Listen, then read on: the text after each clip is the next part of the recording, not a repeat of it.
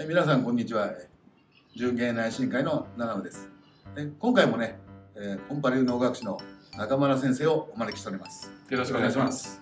でまたね、えー、愛希ちゃん、はいとねえー、一緒に、えー、今回は脳法もう脳初心者2人がね無理やり型をチャレンジっていうちょっと無謀な企画でね、武術家と、えー、素人初心者がね。いきなり脳の型をやったらどうなるかを、えー、検証したいと思います。お願いします。お願いします。します。えー、修羅の方なんですけど、ね、あの結構難しい方ですそもそも、ね、あのー、大体34年くらいやった方にそろそろやろうかなっていうのを、えー、今日いきなりやろうというのでなかなかに無謀といえば無謀なんですけどなぜ選んだかというと、はい、かっこいいから。そうですね。まあ一番わかりやすい方ですね。じゃあとりあえずどんな方か実演してみたいと思います。えー、このようにまず斜めを構えまして。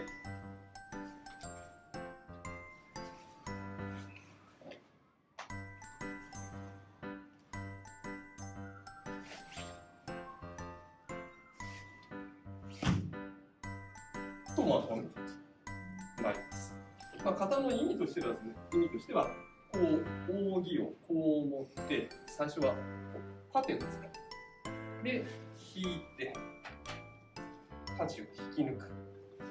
で、こういった見上げて、太刀を構えた状態で、前に敵に対して、人たち、浴びせると。こういう動きになります。ではもう早速どんどんやっていきましょうか。お願いします。はい。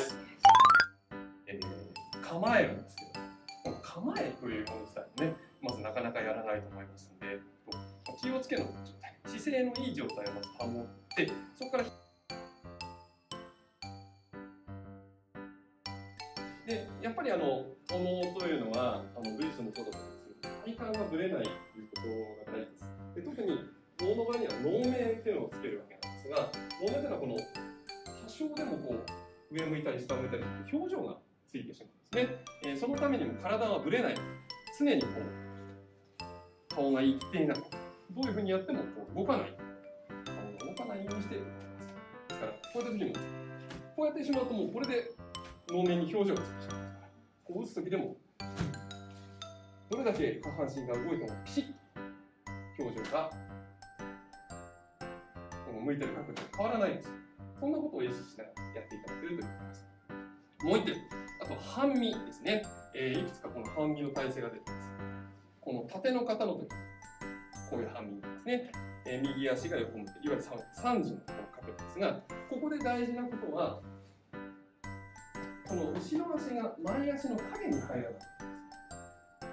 どうしてもこの出してる足をこう下げていくとこう後ろの足のかかとにポツンと当たってしまうようですとこれはよろしくないですね。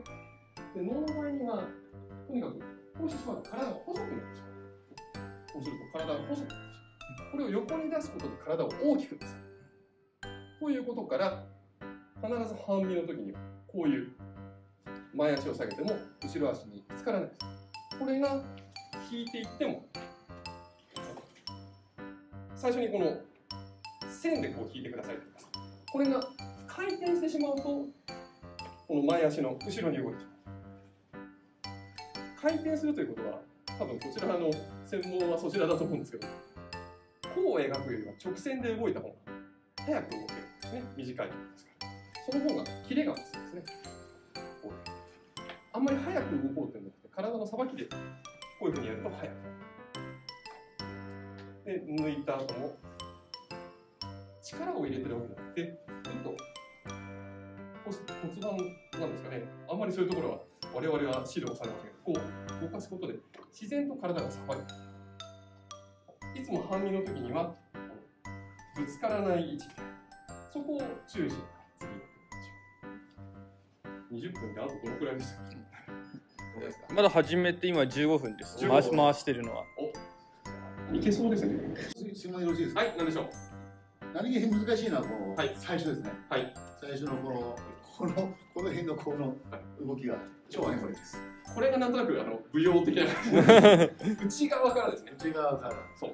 内側からこういうふうに広げる。今大きく広げるそういうことです。今のは非常に綺麗ですね。そうでその回転が難しいんですここからこれ足を開いちゃうとねじにくくなっちゃうので次に足をねじるときにはなるべくこう近くしておきます要するに軸を小さくしておいた方が方向転換しやすいこれ開いてしまうとどうしてもこうねじる方向がねじられる角度を固定しますから次の動作を考えてあまりこの時に足を広げておかない。でねじ。ってここは足を広げても次の動作に入るぐっとねじってからこれ足を踏み出すだけで足を開く。でここから骨盤をキュッと開いて見る。手をで次もそうなんですけども足をしっかり近づけることでねじやすくします。これ足開いたままです。といつもこう体がぐらついてしまうんですから。軸を細くしてグッ。でしっかり止まってぐっと定めてから大きくうん。すごく打たれたら痛そうな力を感じますねよし20分やった。そう20なので分やりました。はい。20分の成果を見せていただき20ま分成果を。はい。はい一つずついきますか。はい。一人ずつですね。はい。じゃあ。ではお願いします。はい、よろしくお願いします。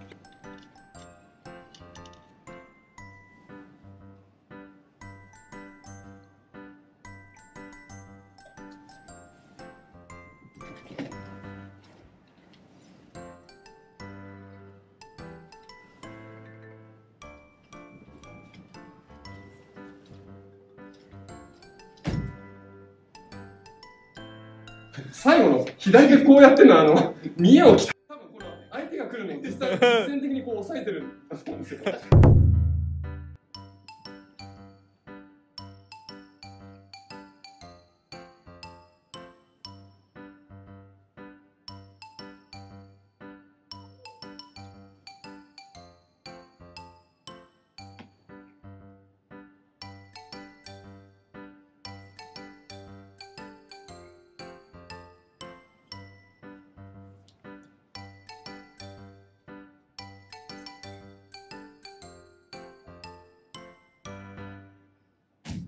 あ結構ですね。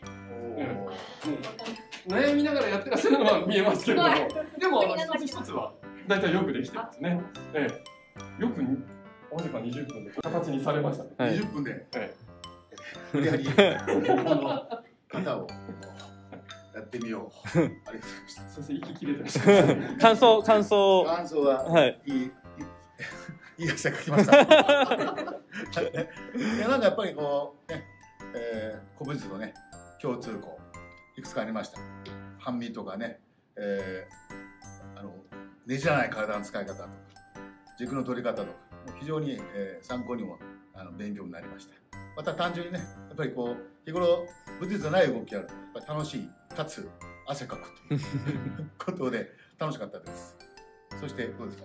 あはいはい、えっと今回の初体験でなんかそうですね。本当に一つ一つの動きに意味とかもあってあなんか単純に面白いなっていうのとこんなに難しいその技をこんな初心者に教えてくださって本当ありがたいなって思いました。楽しかったです。怒られるんじゃない？か、この方を。こんな下手なもの見せて大丈夫かな？あのー通常これはすぐにはやらないんですね。ものでも数年何曲かやって、えーそれからやってみようかなというところなんですが、それも大体知らの方っていうのは1回のお稽古で半分ずつくらいやってくるんですが、それをたった20分でこれまで形にされたっていうのは、さすがやっぱり体の下地ができてるということじゃないかなと思います。今回、えー、脳のね、型にチャレンジっていうこうやってみました。えー、皆さんもぜひね、脳をチャレンジしてみてください。えー、高評価と登録お願いいたします。一本歯の下駄履いて動いてみよう。手話の方をやってみる。破門 されない本当だ。この瞬間にやばい感じがします、ね。あんまりお弟子さんに見られたくないな。